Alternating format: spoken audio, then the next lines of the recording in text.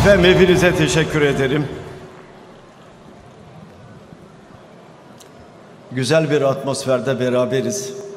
Bu güzel atmosferi yaratan Büyükşehir Belediye Başkanımıza hepinizin karşısında teşekkür ederim. Güzel bir çaba gösterdiniz, güzel bir emek gösterdiniz. Sayın Genel Başkan, İyi Parti'nin saygıdeğer Genel Başkan Yardımcısı, yurt dışından gelen değerli konuklarımız. Genelde şöyle söyleriz. Medeniyetlerin beşiği Türkiye diye. Gerçekten de Asya ile Avrupa arasında önemli bir köprü. Ama medeniyetlerin beşiğini Anadolu'dan çıkarıp bir kente indirgediğinizde bu kentin kaçınılmaz olarak Hatay olduğunu biliyoruz.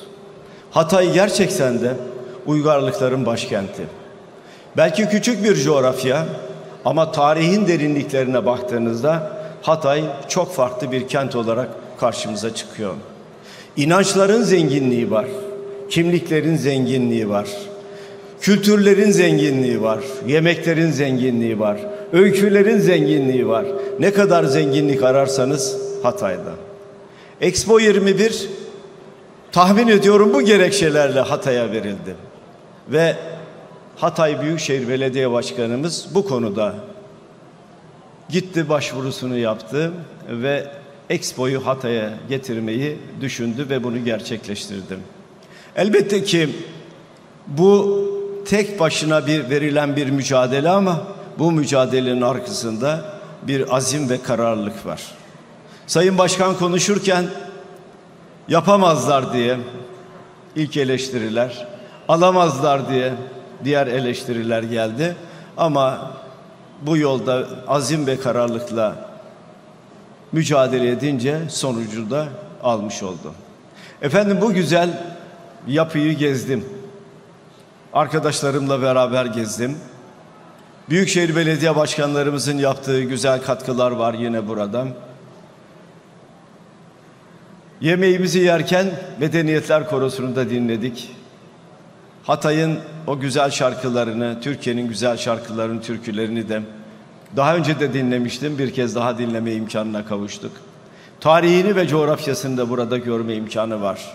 Bu mekan aslında kalıcı bir mekan. Hatay'a nefes aldıran bir mekan. Burada her yaşta insan rahatlıkla gelip gezecektir, eğlenecektir. Şarkılar, türküler dinleyecektir. Belki de yeşilin bütün tonlarını burada görecektir. Dolayısıyla Hataylılar için olağanüstü güzel bir ortam ve bu ortamı yaratan belediye başkanımıza tekrar hepinizin huzurunda teşekkür ederim. Efendim hayırlı uğurlu olsun dileğiyle hepinizi sevgiyle, saygıyla selamlarım. Bir şeyi unutmamanızı isterim. Bir şeyi unutmamanızı isterim. Kararlılık sadece Hatay Büyükşehir Belediye'mizde değil, diğer belediye başkanlarımızda da aynı kararlılıkla, aynı azimle yol yürüdüklerini de bilmenizi isterim.